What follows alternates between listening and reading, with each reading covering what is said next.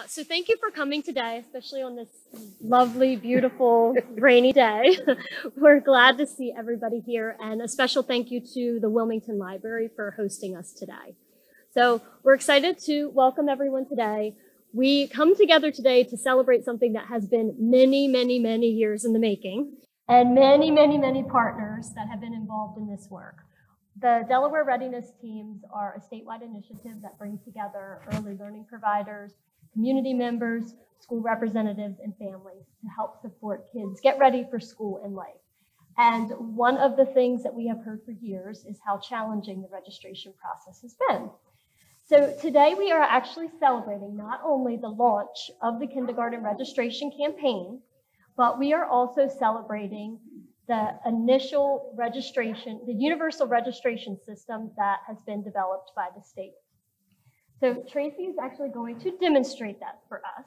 But before we get to that, um, we do have some supports of resources that are available for families for the registration campaign. Now, kindergarten registration is for children that will be age five on or before August 31st, 2023. And we do have some special supports for that.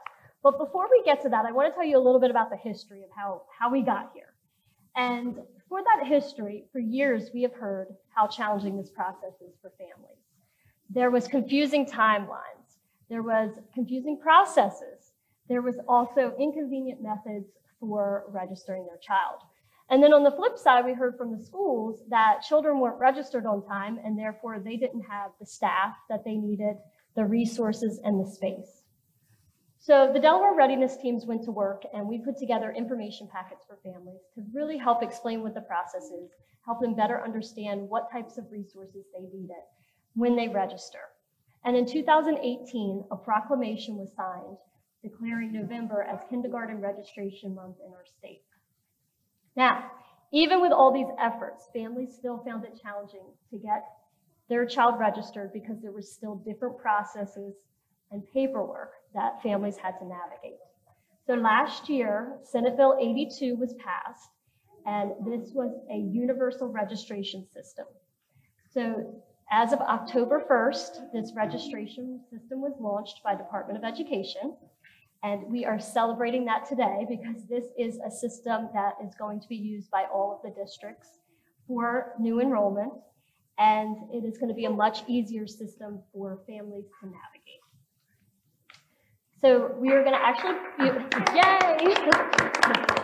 we are going to view this system today, and we would like to share some kindergarten registration information packet information with you. This is what it looks like. We are taking the month of October, getting all of this information for everybody so we can get it out. It is going to include a checklist for registration, all of the steps you need to take to register your child, as well as all of the documents that you need to gather in order to register your child. All of our copies are available front for English and back for Spanish. In the folder, it also has a list of all of the districts and all of the charters that offer kindergarten in our state. Again, in English and Spanish with some contact information for those schools.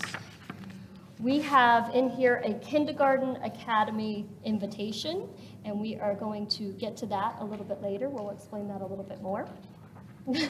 That's the fun part. there is a school choice postcard in here. So you must register in your home district before you utilize school choice. This tells you a little bit about the timeline and where to go to get information about school choice. There is a Delaware Readiness Team postcard in here. All the information we're sharing today, along with videos and information about the Kindergarten Academy, is on our website. So you can visit our website for more information. There is some developmental screening information in here. There is also a pocket guide to developmental milestones. So the different milestones that children are reaching, here is a snapshot of what that would be. We also have a library card for everybody. And then there's information in there too about wraparound services. So as your child goes into kindergarten, you may be looking for before care, after care, and this is to help guide you through that process. The other thing that's in here is a book, Joshua and Jasmine Go to Kindergarten. This book is actually specific to Delaware. It's about two siblings that are getting prepared for their transition into kindergarten. And the actual the illustrations were from right here, right down in Dover. And then to go along with the book, there's a scavenger hunt. So we want children to not only be reading the book, but doing some other activities that prepare them for the transition. So that is our kindergarten packets that we have. There's going to be some additional information uh, added to that about lead awareness as well as um, oral health. And our folders look like this. They may be in green or they may be in blue. So if you see a blue folder, it could be either color.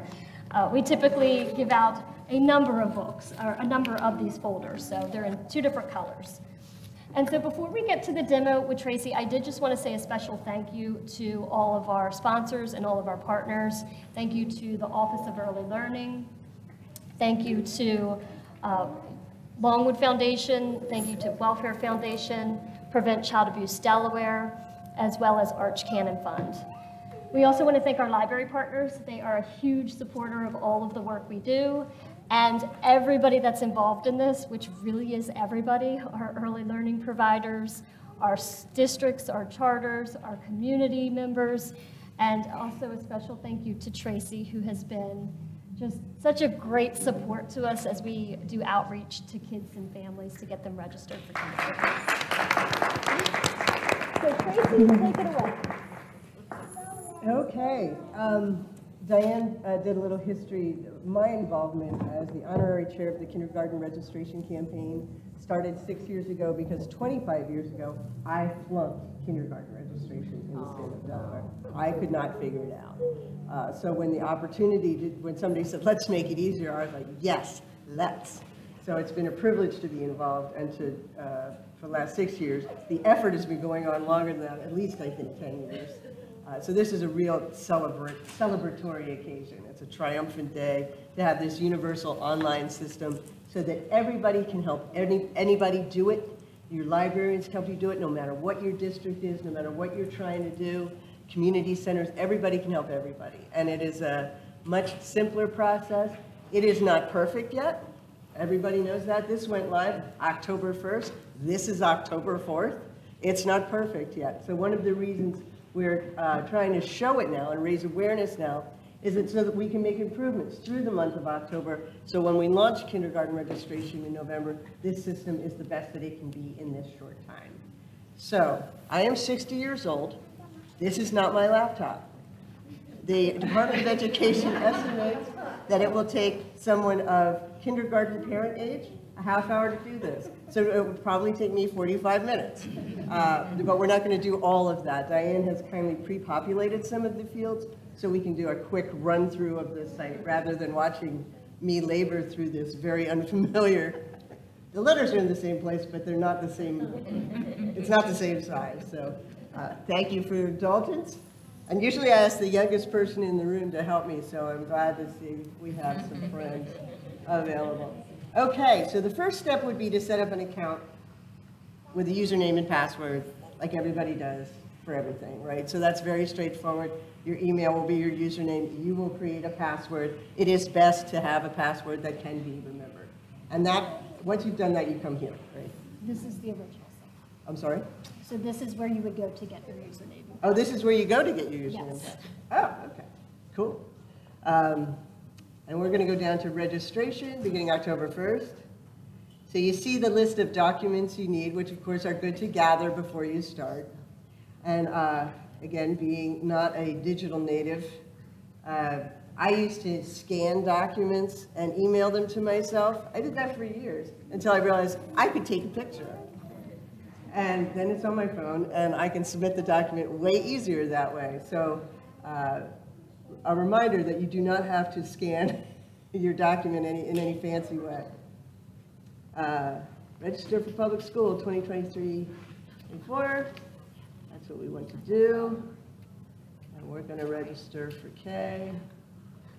Uh, I'm going to, we have, you have to enter, this is one thing that needs a little bit of work. You have to enter a residential address. It has to be a valid residential address.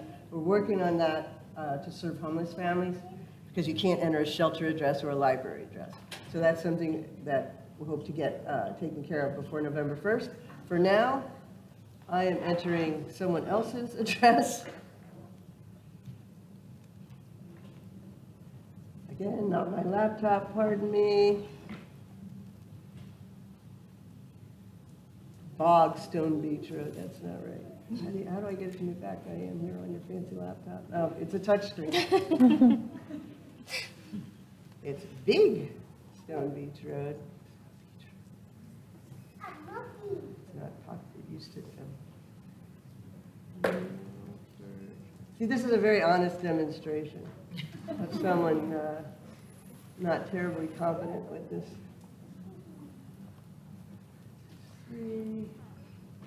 Now we're going to find our home school, or zone school, rather.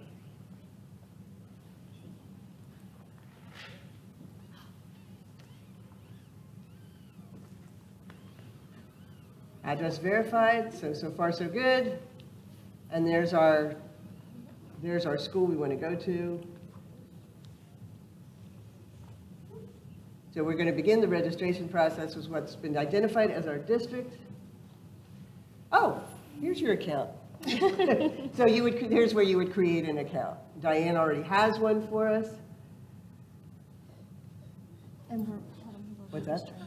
Let them know who we're registering today. Oh, I have to let you know who we're registering today. We're registering Baby Blue Hen. Um, You see there, and who is the, on the My First Library card. So we're registering Baby Blue Hen. This- Yep, in process. In pro, in progress, so you don't have to wait 45 minutes for me to do everything. And a lot of these are the, the answers, we've, entered- Diane has entered the answers that make for the fewest number of steps. So um, uh, if you click yes, you may get some more questions to answer.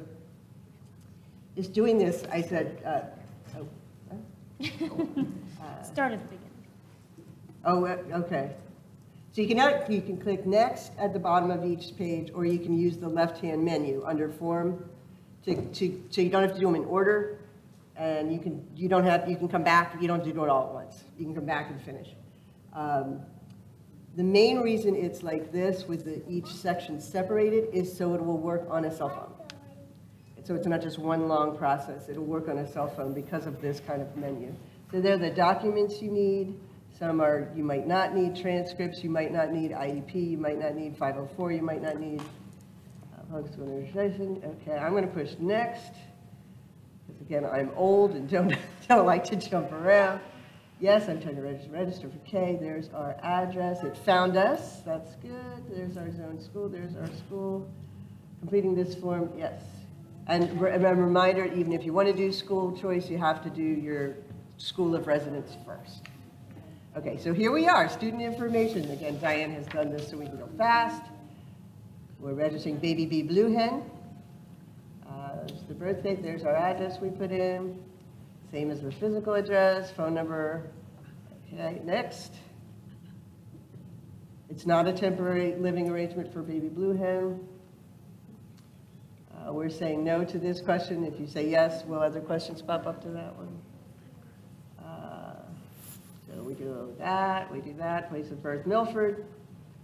Okay, and then again, some of these are the answers that result in the fewest number of questions for purposes of demonstration, but say, um, let's see, we'll put like if pre-kindergarten experience, if the child has gone to one of our wonderful early childhood education providers, we'll put yes, and then you'll see the additional questions about where your, where your child went to uh, pre-K or, or other early childhood program. Next, here comes the family, mommy blue hen, and daddy blue hen. And also, it's worth noting, this is, n- no new information is required. This is not an, no, nobody's asking any questions they didn't answer, ask before. It's just online instead of on paper. And the nice thing about it, say, when you get to this next section, right now, if baby blue hen does have siblings, all the information for the family is going to be in there. So that's a nice time saver, where before you got three big packets of paper for three kids. So that is a good thing. Here's our emergency contacts.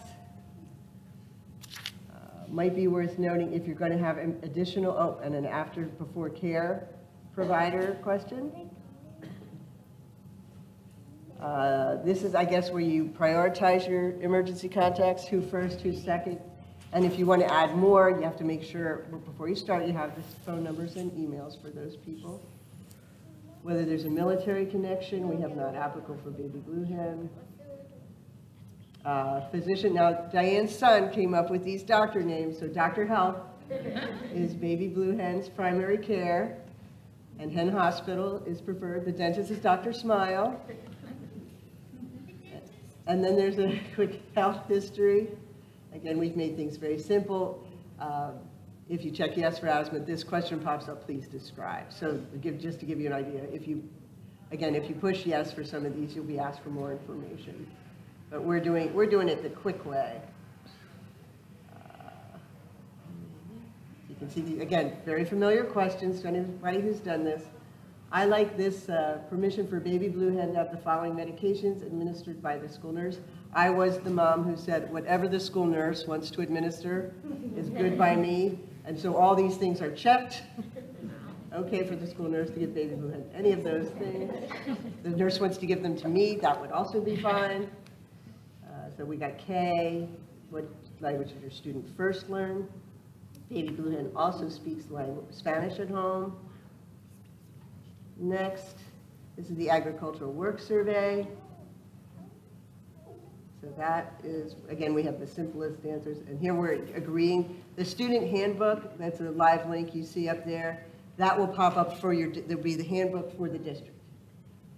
So whatever district is your school of residence, that's the one that'll pop up there. Next, uh, this is the document upload, where I have learned finally to take pictures of documents, uh, so they can be uploaded. They can also be sent to the school in hard copy form, so you see that option. I think for the um, things you may or may not have, like EET, uh, we're going to work on adding an option that says not applicable, so you don't have to choose, oh, maybe just do that. Okay, it's already there, thank you. Yay for the DOE. And now I'm going to certify agree, electronic signature, that's Mommy Blue Hen. And this is my favorite page, actually, because it tells me what I have not done, what is all complete and what is not complete. So the, where there's red, there's something I haven't done, one thing. I did not put a phone type. So I have to go back and do that. So that's the summary page, which is just a check on yourself to make sure you've done everything right. And that, my friends, is that.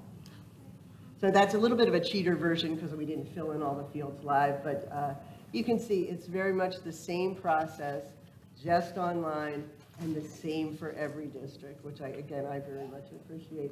And I think there's a, um, an equity issue to it too, because people who can't take off work to go to the school can do this whenever they can. Uh, It puts school choice information, presents that in a more equitable way. So I think there's an equity issue too that I appreciate.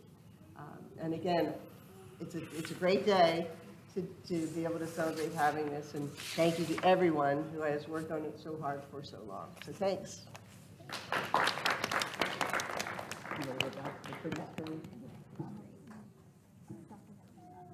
Oh, I'm sorry, and I have a job. Um, Representing the Department of Education today, well, Caitlin's also here, and John's also here, but Dr. Cora Scott. Um, most recently, I come from Brandywine School District as assistant superintendent, and so some of the things that you heard mention, um, you know, I saw that play out and live that for our families. Um, trying to register students um, can be an overwhelming experience for families, and when the systems are not um, streamlined and user friendly, it makes that experience more overwhelming. And so, I'm excited to see this come to fruition and um, the fact that every school district, our libraries, our community partners will be able to support families um, regardless of where they live through this process is um, going to make things um, a lot simpler. I've lived through um, registration events helping families. Um, I have lived through going to Head Start and community childcare centers and um, watching the confusion because one family lived in Brandywine and one family lived in Christina and different forms and different um, processes. And so I do think that this is going to make the family experience much better. Um, and um, I'm excited to kind of see it play out. I think um, you mentioned a lot around equity and access, and I think the past few years through the pandemic, we've seen this um, compounded, the registration process um, for families compounded, um, making it more difficult. And so I think this is a perfect answer to some of those challenges. So thank you to the First Lady and the readiness teams and the library and the community partners, and special thanks to Caitlin and the um, early childhood support team for all their work to make this happen. So yay, good job, thank you. Thank you so much. And thank you, Department of Education. We even had found some tweaks from yesterday and they've already been updated, which is just so amazing. So uh, as Tracey mentioned, we're gonna be looking for feedback to give to them for the system and you know, user-friendly is what we're looking for. So we wanna make sure that um, all families not only have access to it, but to a system that is going to really support them. Uh, everything that we did have, as I mentioned, is in the kindergarten registration information packet. So all of the steps that Tracey was taking is in there. I don't know if I mentioned this, but we have a sign-up sheet for the registration folders that's available. So you can sign up to get those folders if you're a program. They will also be at all of the libraries by the end of the month. So we are taking October to get everything together so that we are ready to launch for the November as our kindergarten registration month. And with that, I know you may say, November kindergarten registration, you're kicking off in October, why is it so early? And really, we really want to help make sure that we're preparing the children for the transition into kindergarten, not only to get them registered, but then to connect them to all of the different resources that are out there to support. And so I, now's the fun part. we have a virtual kindergarten academy that will be conducted. It is, we have an invitation that is in the folder. I mentioned this earlier. It will begin in November, and it will be from November to May, the second Tuesday of every month. There is a child session that happens at 6 o'clock on that first Tuesday of every month, and then the very next night on Wednesday, that same session will be in Spanish. It is a variety of different topics. We take the information, we have been working on this framework with the Office of Early Learning for quite some time, doing some tweaks and things like that. Uh, it is based on the Early Learning Survey, which is conducted on children within their first 30 days of entering uh, kindergarten. And we have taken some of those skills and activities and scaled them down so that families can get a better expectation of what types of things kids are going to be expected to do in kindergarten. And with that, we usually started off with a piece of literature and then do a whole bunch of activities based on some of the different topics for that evening. And the different topics that we have are social studies, social emotional, we have health and safety, language and literacy, science, math, and then a new one, easing transitions into kindergarten.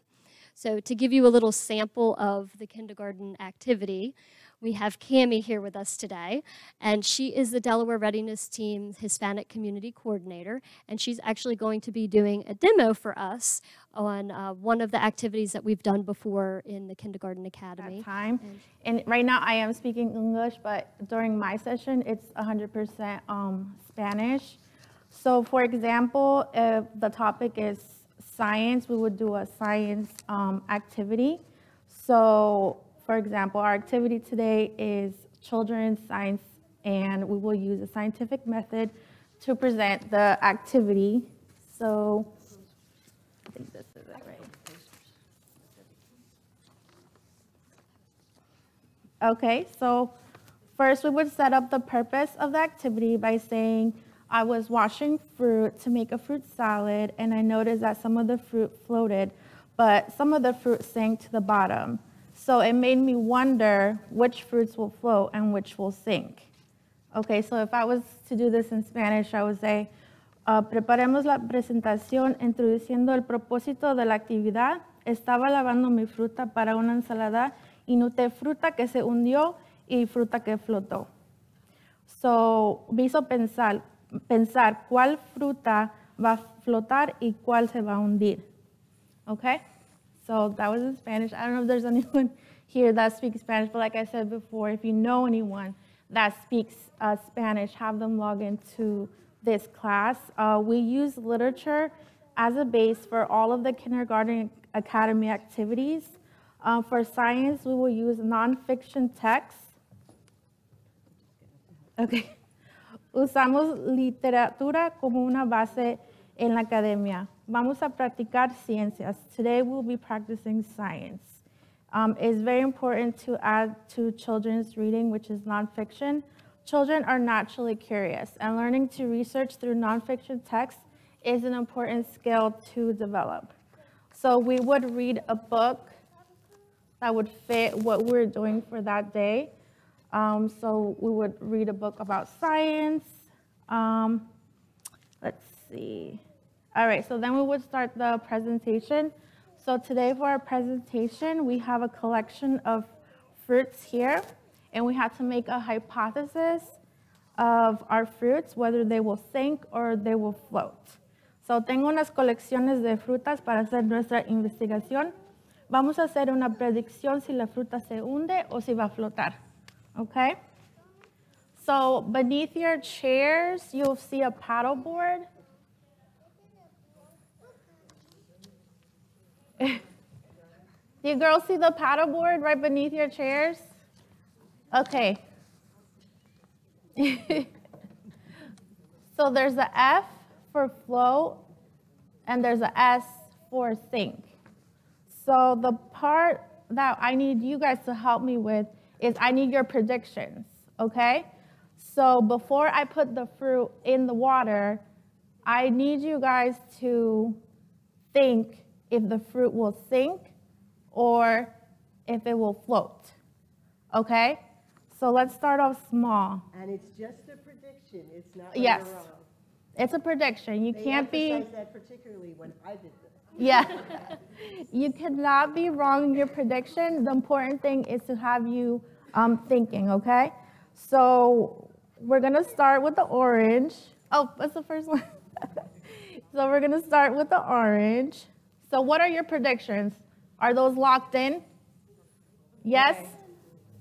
So I have two sink and a float. Sink, sink, float, float, float, sink. Okay. Let's see.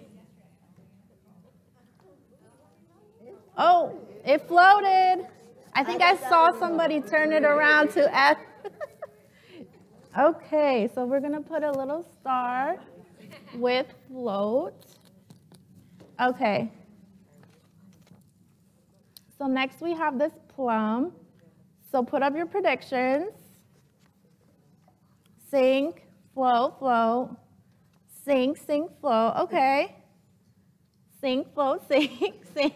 I love the interaction with the adults. Thank you for participating. Oh, it sunk. Oh no. Yay. Okay. All right, this is, okay, I need both of my hands. This is why I got this microphone. Okay, so now we have a watermelon. What are your predictions? Float, sink, float, sink, sink, float.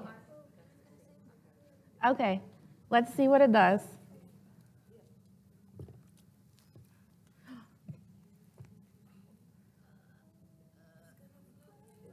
It's floating. It's floating. Who said floating? Good job. You did.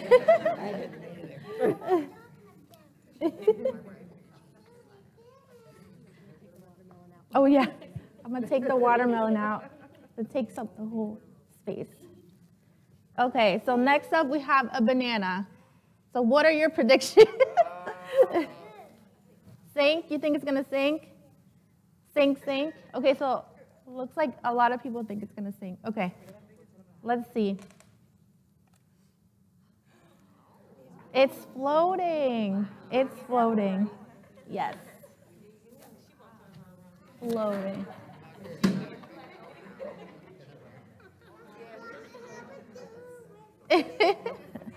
All right, so now we have an apple.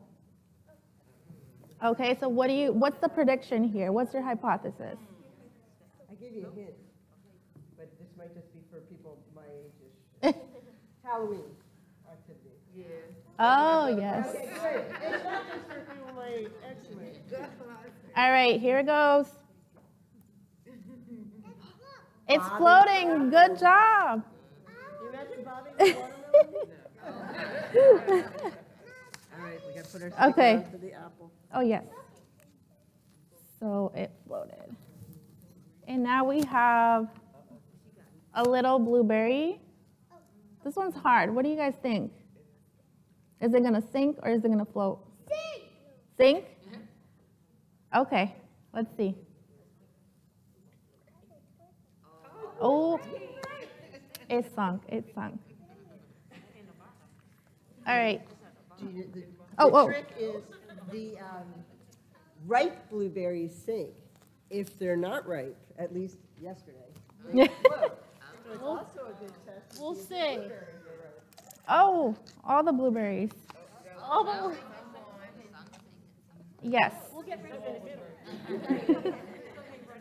So you're saying if they're floating, that means they're, That means they're, the ripe ones sink. okay, okay.